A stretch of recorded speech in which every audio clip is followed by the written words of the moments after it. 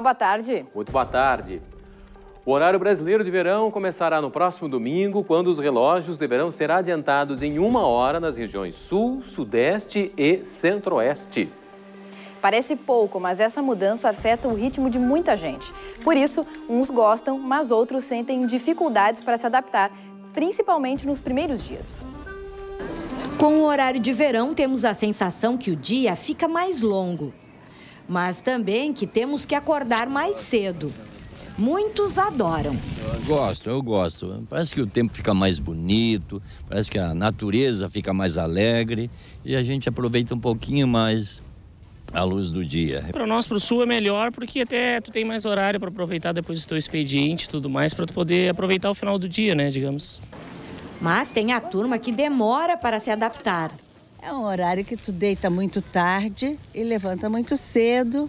E a gente já levanta meio cansado. Não gosto mesmo. Sim, até se acostumar que o dia fica muito longo também, eu acho. Então, mas no início é um pouco mais complicado, mas depois a gente acaba aproveitando mais.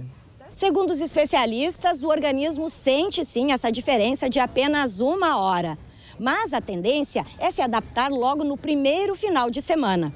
Quem vai ter dificuldades de adaptação são as pessoas que ou acordam muito cedo ou que dormem muito tarde. Geraldo Riso, neurologista e médico do sono, explica que mesmo quem tem esses hábitos extremos acaba se adaptando, só leva um pouco mais de tempo.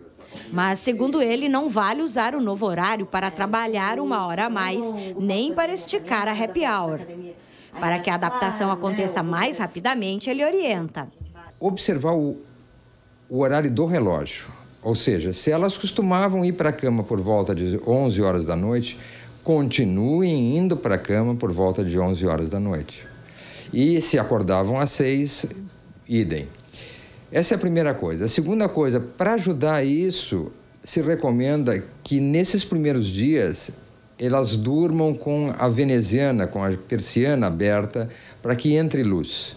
Isso ajuda a fixar o ritmo, é muito importante. Sempre lembrando que o objetivo do horário de verão não é mudar a rotina das pessoas, mas sim economizar energia elétrica. Há um deslocamento entre todo aquele consumo do pessoal quando chega de casa, quando retorna do trabalho.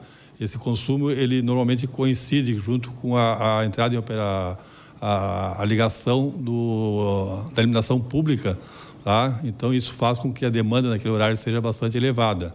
Com o deslocamento do horário de verão, há uma defasagem entre a, essa iluminação pública e aquele consumo que o pessoal faz no dia a dia, tá? fazendo com que haja uma redução daquela demanda máxima que existe na ponta do, do sistema interligado.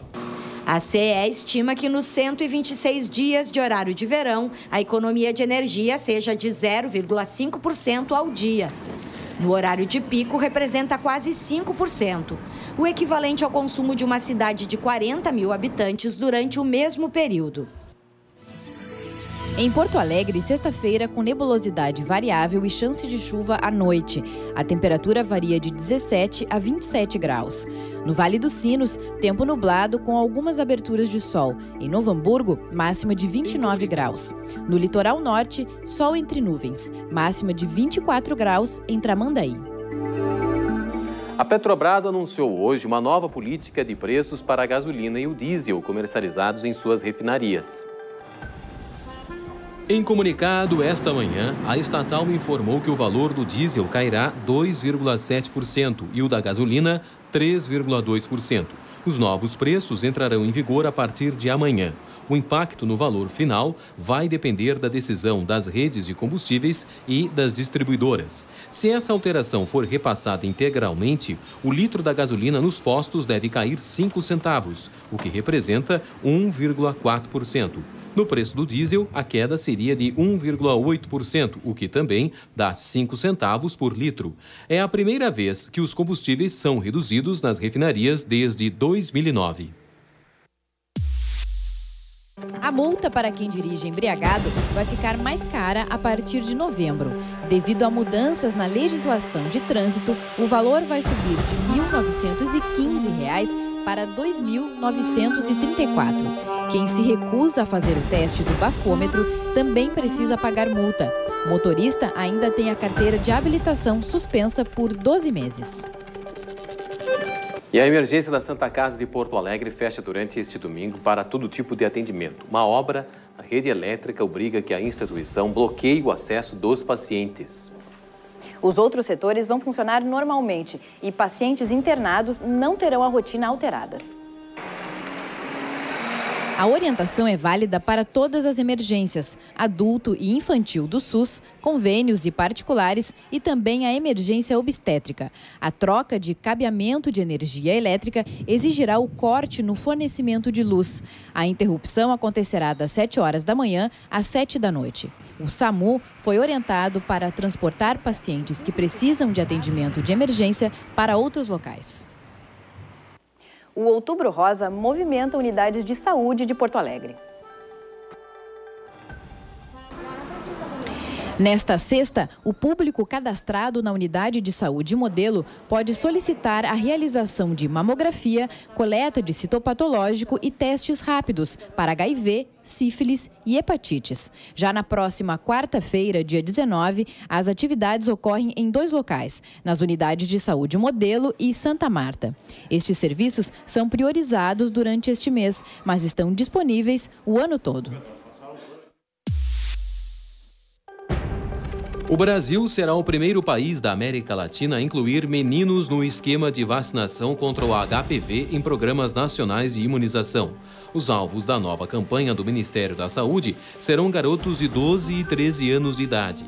A campanha começa somente no ano que vem e pretende imunizar 3 milhões e 600 mil adolescentes do sexo masculino contra quatro subtipos do vírus HPV. As aplicações serão em duas etapas, com seis meses de intervalo entre elas. Na Serra Gaúcha, sol alternando com pancadas de chuva. Em Caxias do Sul, mínima de 17 e máxima de 28 graus. Em Passo Fundo, muitas nuvens com curtos períodos de sol. A máxima chega aos 31 graus. Na região noroeste, predomínio de sol com pouca variação de nuvens. Em Ijuí, mínima de 18 e máxima de 31 graus.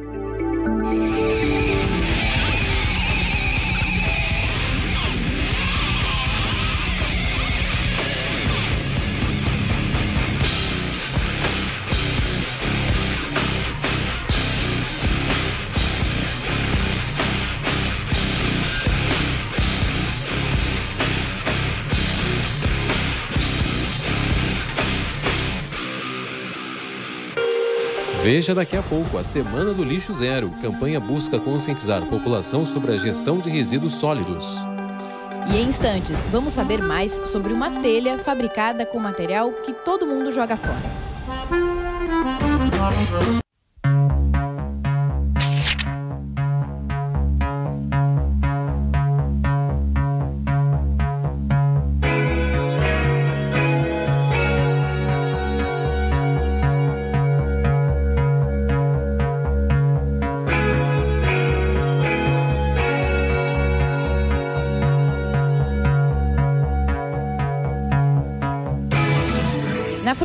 Oeste, sol com algumas nuvens. Em Uruguaiana, faz mínima de 19 e máxima de 30 graus.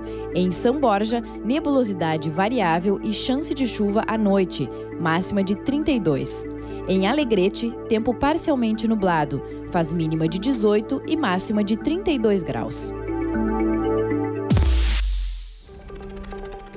A Secretaria da Segurança Pública e a Polícia Federal celebraram nesta manhã um acordo de cooperação técnica. A parceria tem como objetivo a troca de informações e o uso de dados nas atividades de inteligência e de investigação das duas instituições. Com isso, a Polícia Federal poderá acessar o banco de dados do Estado na área da segurança. E, em contrapartida, servidores estaduais, previamente escolhidos, utilizarão dados nacionais com informações criminais sobre foragidos, estrangeiros e armamento capital pioneira na coleta seletiva de lixo, quer discutir como trazer ainda menos impacto ao meio ambiente. A Semana do Lixo Zero vai oferecer atividades que alertam sobre o descarte de resíduos. São mais de 50 oficinas, palestras e intervenções artísticas. É o terceiro ano que Porto Alegre participa deste projeto. Juntou gente para ver, em volta de um monumento depredado, em uma praça onde muitos passam, mas poucos convivem. Uma intervenção urbana fez muita gente se questionar. Tem alguma coisa em relação, em relação a mendigo? Eu achei, pensei nisso, né? E também uma sobre os sacos, né? O projeto faz um alerta para o lixo nosso de cada dia. As sacolinhas plásticas viraram figurino. Qualquer loja que a gente vai, a gente sai com uma sacola plástica, qualquer supermercado que a gente vai, a gente sai com uma sacola plástica.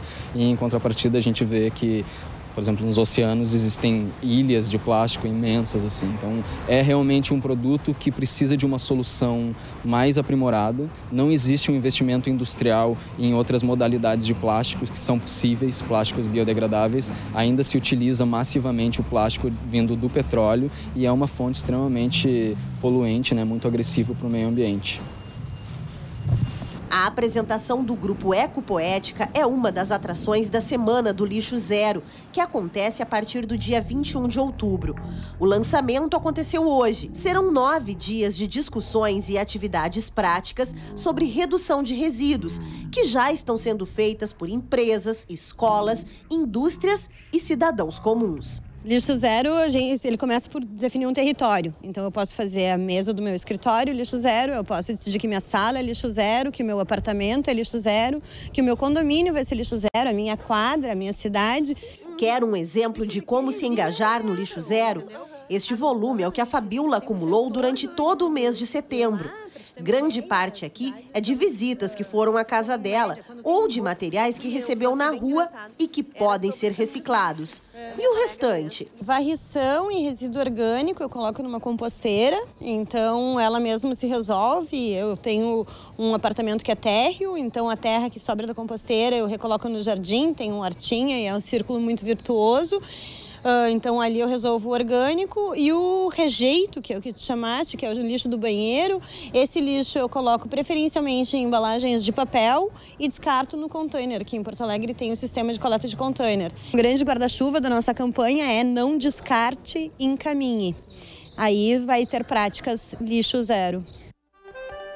Você já imaginou comprar uma telha que vai durar por 100 anos, sem risco de rachar, quebrar ou ter infiltração? Pois é, essa tecnologia já existe e já está disponível. O material é feito de um resíduo que todo mundo joga fora. Detalhes na reportagem da UPF TV. Nesta pilha, que parece um grande monte de papel picado, está o resíduo que todos nós consumimos de uma maneira ou outra. Falo das embalagens Tetra Pak, que compõem o leite, o suco, o molho de tomate, o leite condensado e tantos outros produtos do dia a dia. O material é extraído por uma empresa paulista e serve de matéria-prima para esta fábrica de telhas de Passo Fundo.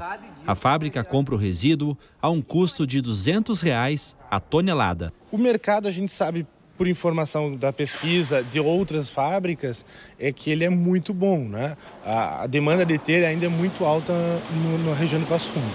O mercado ainda é resistente por ser um produto novo.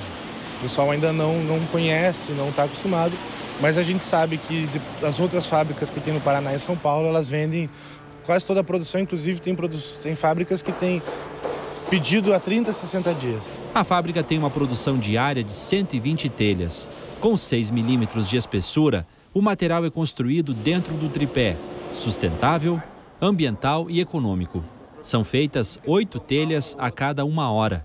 E tudo começa nesta máquina chamada de trommel, é o mesmo equipamento utilizado nas mineradoras para a separação do ouro. Aqui, a máquina começa a desagregar, separar o resíduo de Tetra Pak.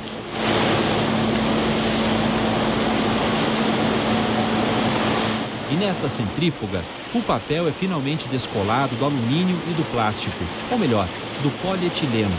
Após, o resíduo vem para este local, onde depois de acomodado, é cuidadosamente colocado nesta forma, que marca a quantidade certa dos resíduos. Esta prensa comprime o polietileno e o alumínio. Depois, superaquecido, o material passa por um resfriamento de cerca de 40 minutos. Um procedimento feito por estas duas máquinas, oito telhas de cada vez. Aqui, a telha ganha o formato tradicional. Só depois é cortada no tamanho certo. A fábrica de telhas de Tetra Pak funciona há pouco mais de dois meses e é a única do estado. E quem mora em casa ou apartamento pequeno pode achar difícil encontrar uma área para plantar alimentos saudáveis e livres de agrotóxicos. Mas espaços pequenos podem acolher hortas em garrafas PETs, por exemplo. Confira na reportagem da TV Ijuí. Quem mora em casa ou apartamento pequeno pode achar difícil encontrar um espaço para plantar alimentos saudáveis e livres de agrotóxicos. Mas é fácil preparar uma horta. Uma opção é utilizar as garrafas PET que praticamente todo mundo tem em casa. Muito importante essa integração que a gente tem, né, de trazer é, o reaproveitamento de materiais que são gerados no meio urbano, né, é, buscados aí no supermercado e transformado numa forma é, de reaproveitar e produzir novamente o alimento em cima desses materiais. Os alimentos que podem ser produzidos são os mais diversos: hortelã, melissa, erva cidreira, poejo, paraxás, temperos como manjericão, manjerona, orégano, salsinha, bolinha, alecrim e pimentas. É possível também plantar hortaliças como couve, alface, rúcula e legumes como cenoura, tomate, alho, cebola e batata. Que tal tudo isso em uma horta móvel? As pessoas de mais idade têm problema para carregar peso. Então eu fiz assim, eu fiz uma horta em cima de rodinha. Então, a pessoa leva aonde que ela quer a horta. Por exemplo, vai chover, ela leva a horta para fora na chuva. E traz para dentro de casa e assim é, já é mais uma atividade para a pessoa idosa, no caso. E ela vai ter os temperos dela também. Um incêndio no bairro Tristeza, em Porto Alegre, destruiu esta madrugada o prédio onde funcionava um restaurante argentino. Situado na esquina da rua Doutor Barcelos com Venceslau Escobar, o mestre parrigeiro começou a pegar fogo às três e meia da manhã. O trânsito na região ficou totalmente bloqueado durante o atendimento da ocorrência. Três viaturas do Corpo de Bombeiros auxiliaram no combate às chamas. A Avenida Venceslau Escobar ficou bloqueada no sentido centro-bairro durante o atendimento da ocorrência. Não houve feridos. As causas do incêndio ainda estão sendo apuradas. Na região central, sexta-feira de sol entre nuvens. Em Santa Cruz do Sul, as marcas ficam entre 17 e 31 graus. Em Santa Maria, tempo nublado com algumas aberturas de sol. A máxima chega aos 28. Em Cachoeira do Sul, sol com pouca variação de nuvens, mínima de 17 e máxima de 29 graus. Veja a seguir. Este é o último final de semana para aproveitar a Oktoberfest.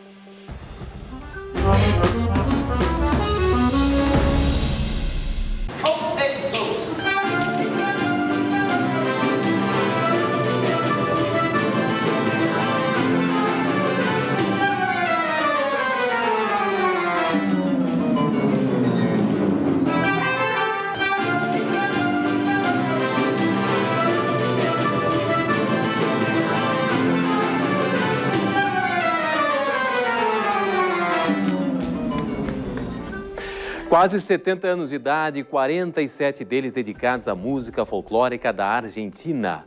Portenho, sobrinho de outra grande expressão musical do país vizinho e opositor da ditadura militar que comandou o seu país nos anos 70 e 80. Este é Juan Falu, que esta semana fez aniversário, ou cumpleaños, como se diz na Argentina. Quem vai falar mais sobre esse compositor é o apresentador do programa Cantos do Sul da Terra, lá da FM Cultura, Demétrio Xavier. Contigo, Demétrio. No dia 10 de outubro, fez aniversário, ele nasceu em 1948, um músico que poderia ser daqueles que se ressentem da sombra do seu nome, do seu sobrenome. Poderia ser também daqueles que aproveitam isso, se beneficiam para sua divulgação, para o seu caminho, enfim, de artistas. Eu acho que não é nenhum dos dois casos. Eu estou falando de Juan Falu do grande violonista Juan Falu. E é claro que quando a gente pensa em violão latino-americano e talvez mesmo em violão mundial, a gente ouve o sobrenome Falu e vem na cabeça Eduardo Falu. Fantástico Eduardo Falu, falecido recentemente e tio de Juan Falu. Mas Juan Falu tem um caminho muito particular, muito pessoal, e esse caminho pessoal passa de uma maneira muito próxima pelo Brasil. Passa lá nas suas, na sua juventude, nas suas origens de artista, mas passa até hoje. O Falu foi um militante aguerrido da esquerda argentina, da resistência ao golpe militar depois de 76 e precisou se exilar aqui no Brasil. Neste exílio brasileiro, Juan Falú, por exemplo, vocês vão recordar, é fundador e fez parte da primeira formação do grupo Tarancon, um dos grupos dos poucos que traziam a música hispano-americana e a apresentavam junto com a música brasileira. Um trabalho muito interessante e que teve muito a ver, sim, com aqueles exílios dos períodos de golpes militares aqui no, no, nosso continente. Juan Falú é um exemplo disso, volta para a Argentina em 84 com, com a anistia e ele que teve, inclusive, outros irmãos exilados, um irmão desaparecido, o Lúcio Falu, foi morto pela, pela ditadura argentina. E ele tem uma coisa muito curiosa, quando ele é perguntado se ele tem influência da música brasileira, porque os argentinos escutam essa influência ao ouvi-lo tocar, ele diz que tem sim, mas que não a procurou, não a buscou, que é algo natural do período em que ele esteve aqui e das parcerias que ele tem até hoje com músicos brasileiros. Ele, vejam que interessante, que é um autodidata, não estudou nem teoria nem técnica e é um grande músico. Está vinculado a grandes festivais de violão, inclusive que são organizados ou em que ele é colega, enfim, parceiro de brasileiros como Yamandu Costa, como o nosso Daniel Wolff, também como aquele quase brasileiro argentino Eduardo Castanheira. E, sobretudo, Juan Falu é criador, ele, condutor, diretor do festival imenso de violão chamado Guitarras del Mundo. Fantástico, Juan Falu, que é a nossa dica do sul da terra de hoje. Na região da campanha, tempo parcialmente nublado. Em Bagé, faz mínima de 16 e máxima de 28 graus. Em Pelotas, dia de sol com algumas nuvens, máxima de 24. No litoral sul, tempo firme com pouca nebulosidade. Em Rio Grande, a temperatura varia de 17 a 20 graus. Transformar os jovens através das palavras. Acreditando que a troca de ideias ajuda na construção da identidade, o escritor Fabrício Carpinejar criou o projeto Poesia Cheia de Graça. Desde março, ele visita escolas públicas para um bate-papo. O diálogo é sobre livros, expectativas e futuro. O interesse de Bernardo por histórias aumentou vendo os filmes adaptados de livros. Terror e ficção, porque é o que eu mais gosto. Já Larissa gosta de enredos mais românticos. Tô lendo romance de novo. É o segundo livro que eu leio. Bernardo e Larissa são alunos da Escola Municipal Gabriel Obino. A diretora acredita que, independente do gênero, o livro sempre traz reflexões mostrar que a literatura é uma coisa, é um trabalho interessante, uh, divertido que mexe, né, com a autoestima das pessoas. E todos os escritores sempre trazem uma contribuição não só para a literatura, mas também para a vida deles. Contribuir de alguma forma para a formação dos alunos é a ideia de Fabrício Carpinejar com o projeto Poesia Cheia de Graça. Óbvio que não. No bate-papo com a gurizada, ele fala sobre diversos assuntos, do bullying à poesia. O que, que eu posso oferecer? O que eu tenho de melhor, a minha imaginação, a minha conversa. Vá lá que eu desperte uma alma, uma vocação, um dom. A Unesco mesmo diz que uma das coisas mais importantes que a escola tem a ensinar é o aluno aprender a ser, não ter medo de ser o que ele é. Acho que talvez a, a fala do Carpinejar, se for, como eu já ouvi em outras oportunidades, ela ela nos ensina isso, a não ter medo de ser aquilo que a gente é. A escola interessada em participar do projeto deve se candidatar por e-mail. De forma voluntária, uma vez por mês, o escritor escolhe uma escola de Porto Alegre, região metropolitana ou Vale dos Sinos para uma palestra. Neste último final de semana da Oktoberfest de Santa Cruz do Sul, a grande atração é a culinária alemã. É difícil olhar essas imagens e não sentir aquela água na boca. É cuca, cachorro com linguiça, pretzel e mais uma lista de pratos que estão agradando os visitantes que circulam pelo Parque da Oktoberfest. Na chamada Vila Típica, é possível encontrar de tudo. Os pratos mais principais vendidos são cuca com linguiça e o famoso cachorro do alemão. Já nesta banca, duas atrações vêm dando o que falar. E olha que uma delas é importada diretamente de Munique, terra da maior Oktoberfest do mundo. O pretzel, feito com cevada, farinha de trigo e massa salgada, é um lanche mais leve, combinação perfeita para tomar aquele chopp. Já a novidade mais encorpada é a Cuca Dog. Cachorro quente feito com pão doce e um recheio pra lá de completo. Que o show é uma das principais atrações da Festa da Alegria, a gente já sabe. Mas o que vem chamando a atenção pela criatividade e, claro, sabor são os pratos típicos. Do doce ao salgado ou os dois juntos. O que não falta é opção. Os amantes do doce ainda encontram na Feira das Cucas outra opção para se deliciar. Mas é nesta pequena banquinha que a mágica acontece. E ela se chama strudel. É um doce folhado com bastante maçã, uh, passas ao rum e canela. E tem um ingrediente também que a gente não revela, que é típico de lá. O strudel é uma das guloseimas mais consumidas na capital alemã Berlim. E na Oktober de Santa Cruz também vem conquistando seguidores. E a propaganda foi tanta que teve até repórter provando a delícia. Aprovado, pessoal. Vale a pena conferir aqui. Muito bem, o canal Alberto volta na segunda-feira. Você fica com plano de jogo. E outras informações no segunda edição, às 7h15 da noite. Boa tarde. Boa tarde.